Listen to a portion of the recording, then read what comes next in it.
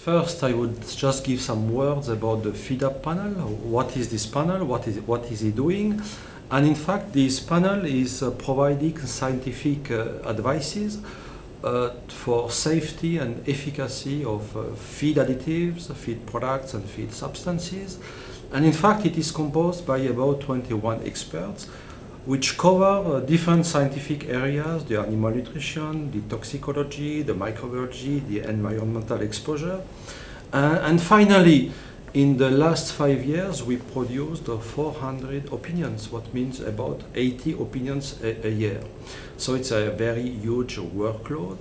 And in fact, uh, today we had a specific uh, topic to, to discuss about the maximum levels of copper in feed.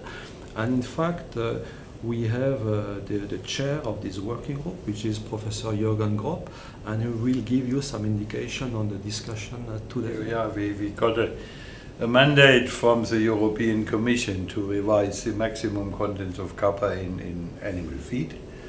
And there is a, a, setting of this maximum contents, and we checked that under the aspect to, let's say, to reduce it to the levels which are necessary from a nutritional point of view because this was not the case in our in our view. And for this we did a huge data collection from member states and from from stakeholders and by procurements to have a safe basis for the requirement for allowances for potential deficiencies and what is the tolerance of animals.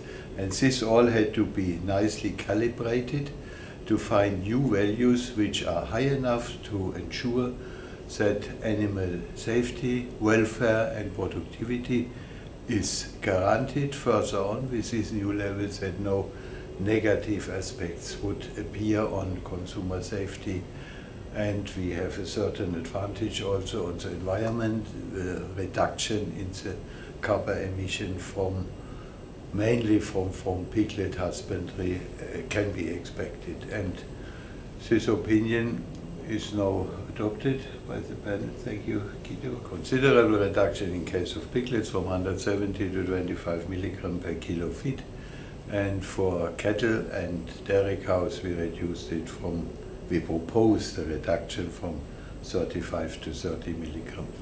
In fact, we 24 observers were registered, and maybe uh, a little bit less than 20 were, were there. And in fact, they, they were there for the whole time, of course, and they were really interested. They, they took some notes.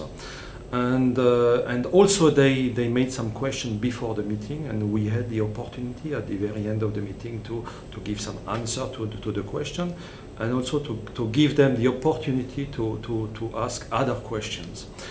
So my impression is that it was really useful for, for them, but also for the plenary to see that uh, finally uh, about 20 people were there from the industry, from the from the consultancy, from the, in the industry association. So finally, it was a, a useful afternoon.